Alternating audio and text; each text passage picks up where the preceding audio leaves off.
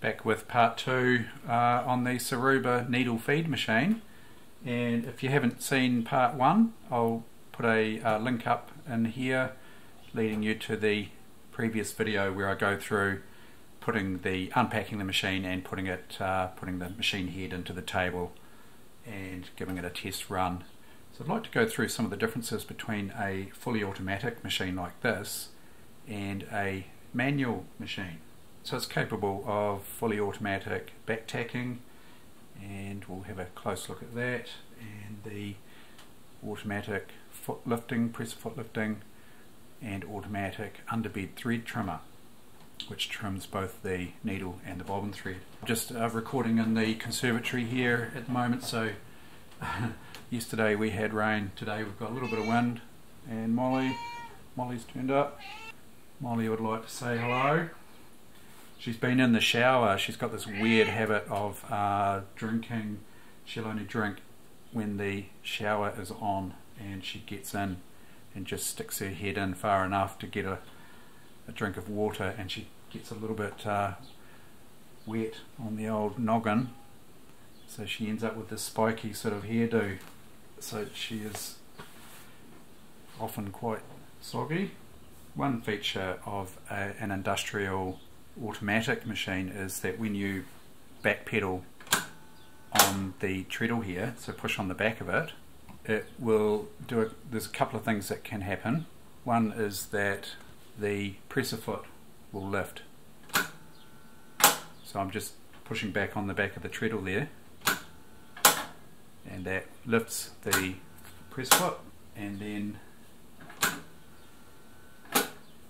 you can put your position your fabric. Uh, I think I better get rid of the cat. Hmm. Come on, Molly.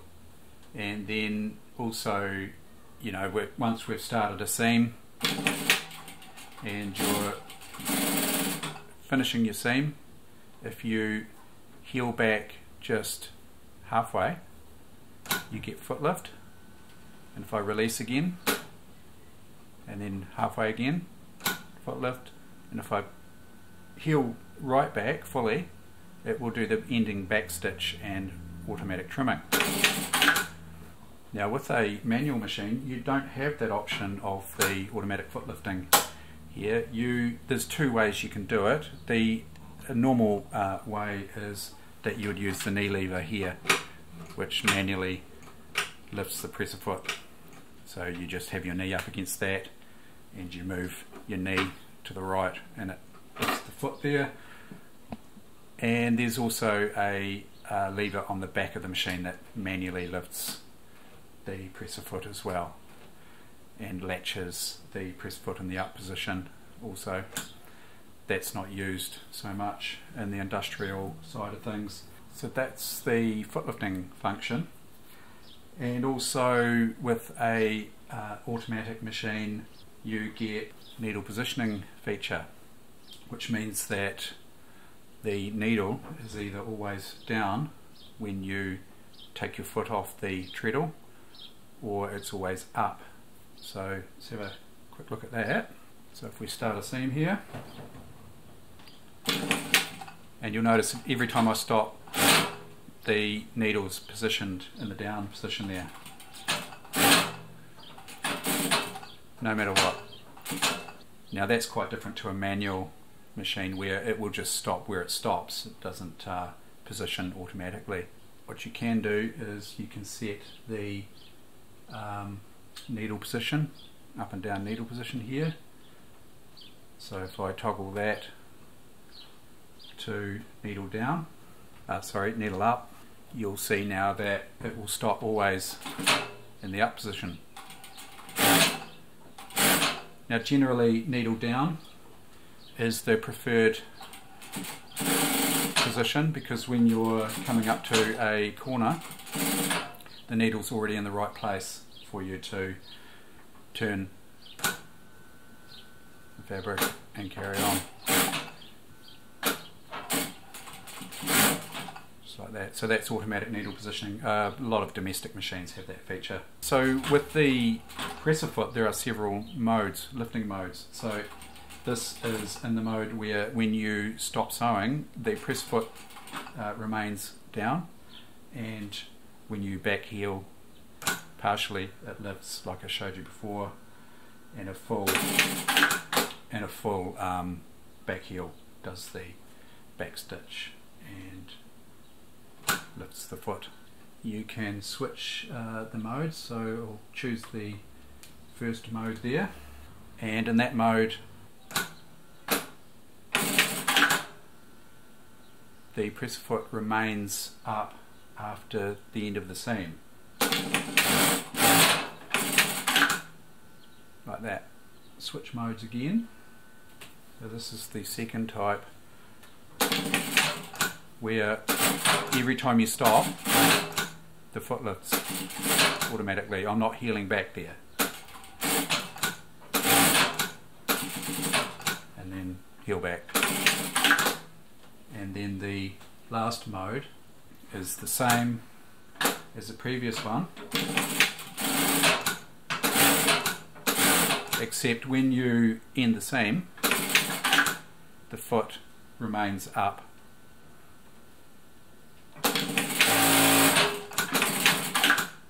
I'm not heeling back I don't have my feet on the treadle there at all So that's the different modes of the press foot lifter. I'll just set that back to normal there.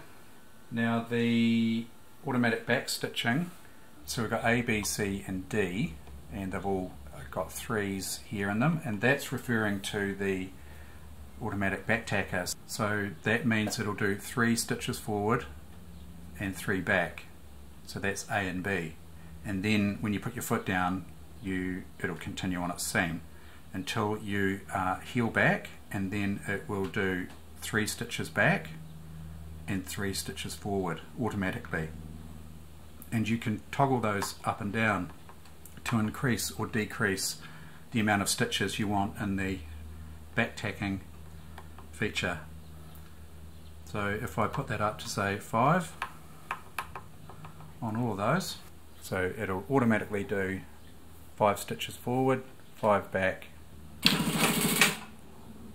and then I can go. Finish the seam heel back. And that so that's five stitches. If I change it back to three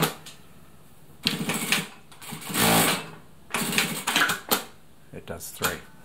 If we have a close look there you'll see that's the five stitch back tack and that's the three stitch back tack there the start and the finish there. So that's the automatic back tack. With a manual machine without the back stitch function, so what you would normally do is when you're starting a seam is you would manually um, back tack by using the reversing lever manually there. Let's say that I'm starting a seam here now. You would normally um, head down the seam and then hold the reverse back a few stitches and then let go. That's a manual back tack.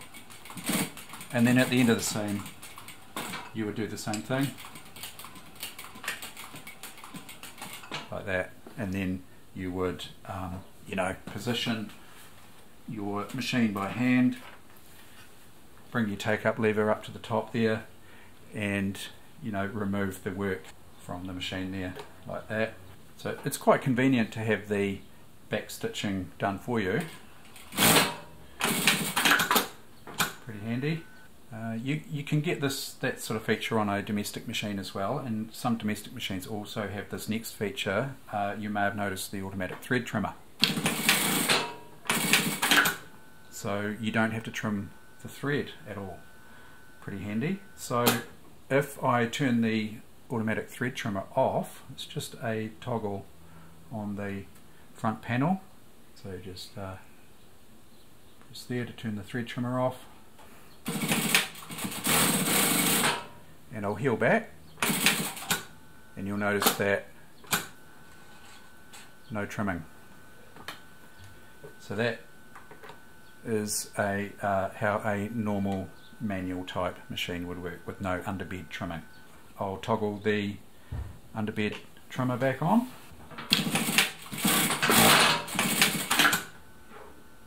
Just like that. I won't go into all of the features of the control panel. Uh, th there's quite a bit that it can do. You can program it to do um, the likes of around a rounded pocket and you can program it to do a certain amount of stitches down one side, a certain amount along the bottom and a certain amount up the top. And there's two different styles. You can obviously, you know, change all the, the back tacking lengths. Uh, you can, oh, you can switch off the back tacker here. Yeah, so you can switch back tacking right off there, just toggle those. Nice and easy. Um, needle positioning up and down. There's a program button here that'll be for programming your different, um, you know, lots of doing around pockets and things like that. So that's relating to this button down the bottom here. You can manually uh, toggle between needle up and down, just a one shot type. The This will be a ramp up speed, so that'll be an acceleration curve that you can adjust, and um, various uh, other buttons for functions and whatnot that I won't go into today.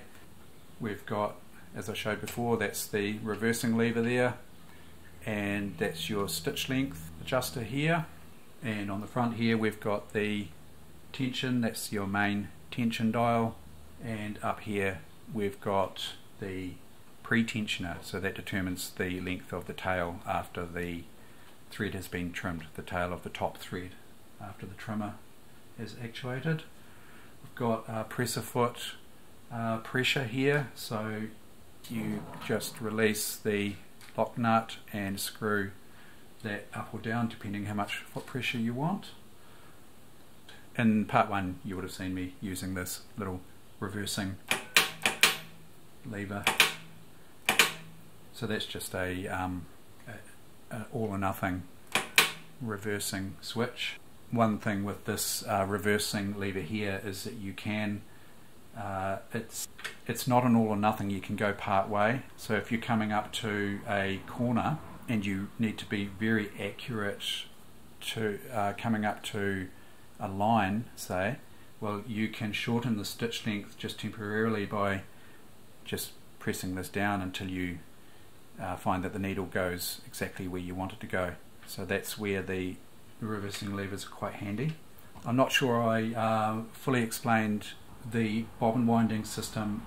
So the way the uh, this actually this whole system works with a bobbin winder is while you're using the machine, obviously uh, thread from the bobbin down here is being used, and when that runs out, you've got a brand new uh, fully wound bobbin ready to go. You just uh, remove the bobbin there. I'll tip the machine back so you can get a better view. And you would remove the bobbin. You can do this when the machine's down. When the head's down in position, you can actually reach under and do what I'm doing here without tipping the machine head back. But you can, so you've got an empty bobbin, let's say that's empty, you've used all the thread on there, you uh, would Let's just pull the thread off there just to simulate this. So you're out of bobbin thread there.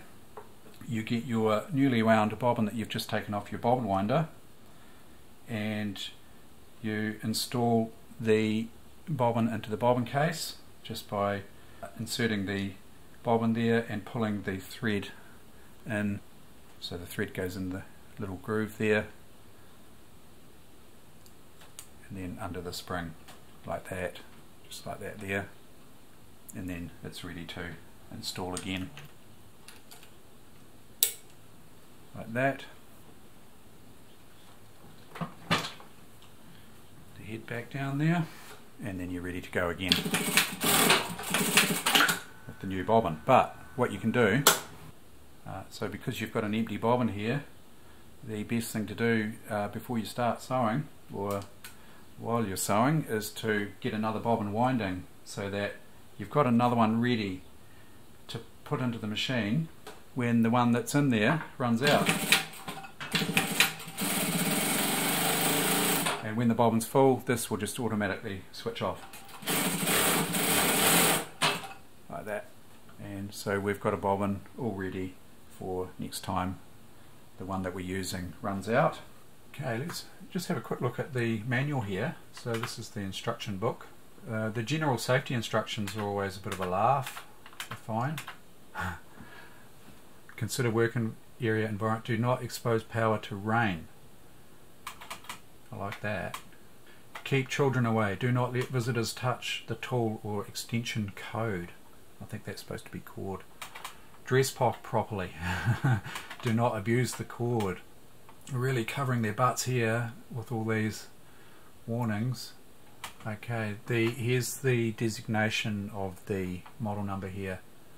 So the one I've got is the DL7200 uh, H for medium to heavyweight materials. Number four, four, four code of hook. So number one, high speed hook. So there's different uh, types of hook. Two capacity large hook. Um, so that's a big bobbin type machine. It holds a lot more thread. Oil free hook, special hook, vertical type. So that's a, um, a hook rather than uh, where the bobbin goes in this orientation the bobbin drops in uh, from the top, the vertical hook. And then 16, these two numbers here were 16, so 6 and 7, 1 and 6. 6 is 7, number 1, Siruba Advanced Model with Key Type Operation Box. And number 7 was uh, number 6, Function Code was 6, this one. So automatic thread trimmer, rapidly backstitch, uh, no thread wiper. The thread wiper is where the after the machine is trimmed, a little wiper comes across and pulls the top thread out, frees it from under the foot. Automatic press foot lifting and electronic gripper. So that's the specs of the machine and we've got all the different operations here start uh, back tacking and end tacking options there, pattern selection. Here's the pocket stitching I was talking about, or rectangular stitching. So you can program, so you're programming your start and your start back stitch there, forward and back as A and B, uh, or you can do double back tack at the start, A, B, A, B again, and then you have your end tacking, which is CD, or CD and CD for a double double tack, uh, free stitching, stitching number setting E. So you know you could program uh, the amount of stitches that you go down and or you just hold your foot down and when it reaches the number of stitches that's programmed into E here it will stop. Or rectangular so you've got E, F, G and H programmable in the system. Again V type stitching for pockets U type stitching here one shot automatic stitching. I'm not quite sure. I'd have to have a wee play with that. Automatic thread trim needle up and down stitching sequence. Yeah bits and pieces in there I haven't really played with. But yeah the manual's not too bad. It's pretty good. Shows you how to do the bobbin. Threading. That's the manual. I won't go too far into that so that wraps up this uh, two-part series on the Siruba DL7200. I hope you found that interesting. I do all sorts of videos on industrial and uh, domestic sewing machines uh, and related items, overlockers, etc. or sergers.